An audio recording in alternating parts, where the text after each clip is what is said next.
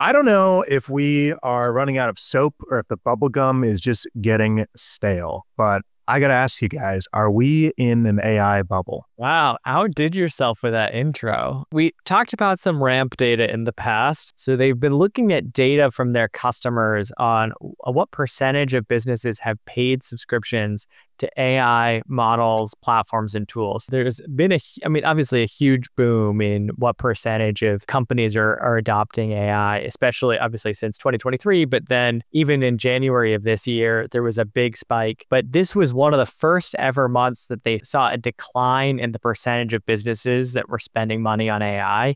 It was a 0.7% drop. So now about 43.8% of businesses pay for AI models and services. So at the very least, there's a bit of a plateau that we're seeing in business adoption of AI and looking at a lot more moderated growth going forward.